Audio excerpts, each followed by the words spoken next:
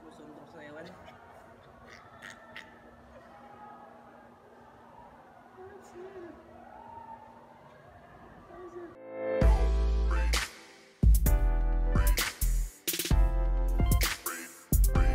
So hello guys, uh, this is me. It's Gerald Wanderers here from Calgary Berger.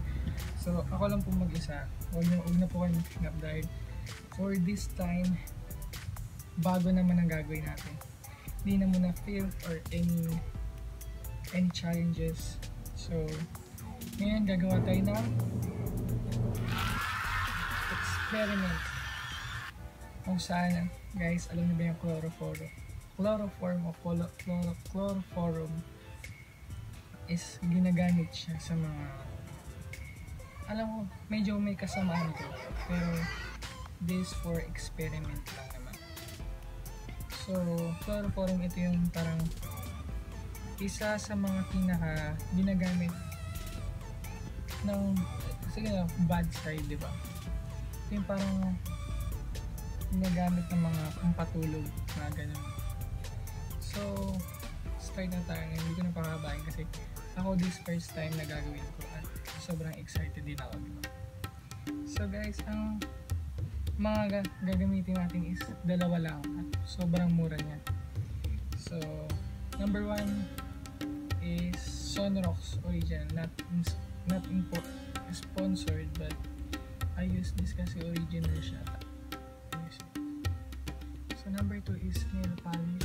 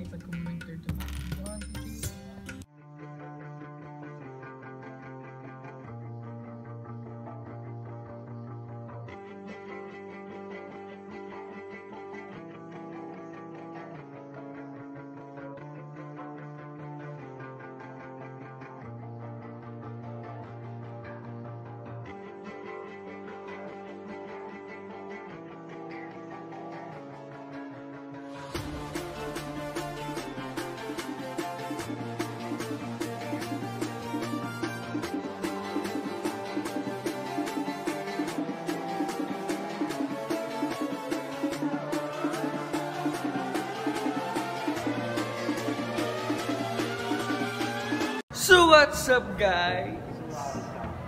Ito na po tayo ngayon sa ah. So yun. So yung kahapon, gabi. Hindi natin natapos ang ating experiment.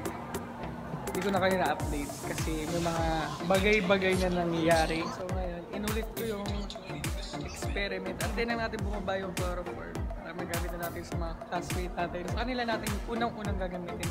Tingnan natin kung effective nga ba or hindi.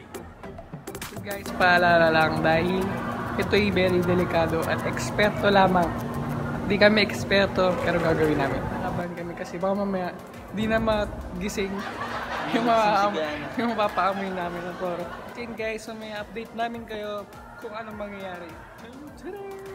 Naka 25 minutes na po tayo or 30 minutes more than that. So guys, ang kailangan na po lang natin is yung syringe or ang sipsip. Pwede naman siguro ito. Wala akong syringe na action. Lalagyanan. So, lalagyan siya ng pabango. Lagyan siya ng pabango at ang may pabango pa siya. So, kung makikita nyo guys, yung chloroform is yung nasa baba, yung medyo cloudy. Cloudy. So, yun yung kukunin natin para transfer natin dito sa ating lalagyan. Lalagyan. So, yun.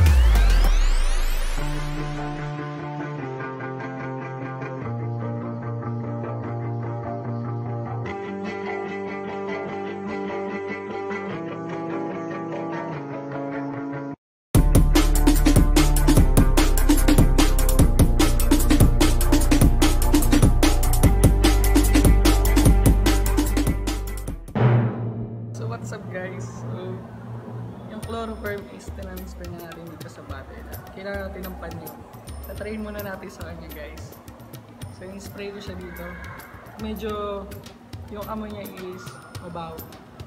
Yung Sonrox pa rin pero iba na pa, chloroform. Naman yung pinaka, ano? Ready? Ready ka na? Ah, sure. Wow. Singutin mo lahat ah. Baka may matay ka. Game? What? Singot.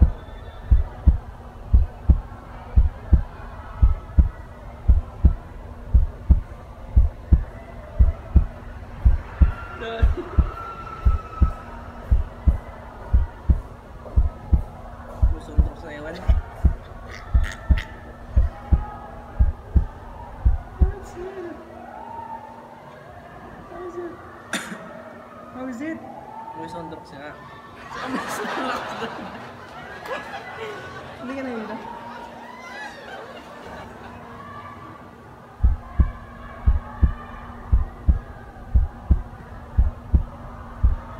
Ano? Wala. Kahit. So guys, hindi siya totoo. Sinungaling tong chloroform na to. Hindi siya totoo. Fake! Fail!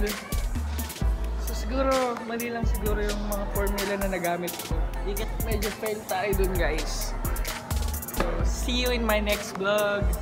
Hanggang dito na lang guys. Puputulin ko na kasi baka mamaya is makasama pa yung paggamit-gamit natin ito. So, titignan na natin yung at paggamit ng chloroform. Medyo nakakahilo siya. Pero alam ko dito sa chloroform is hindi siya agad-agad e-epekto. May ano ba siya? Kailangan ma ano, ma singot mo lahat muna. Or marami kang masingot para absorb ng katawan mo, utak mo. Bye guys, see you in my next vlog. And subscribe sa my channel. Then promote your account. Promote my account. So follow me on IG, Lester.Pasinlo, and follow me on Facebook at Lester Pasinlo. So guys, bye!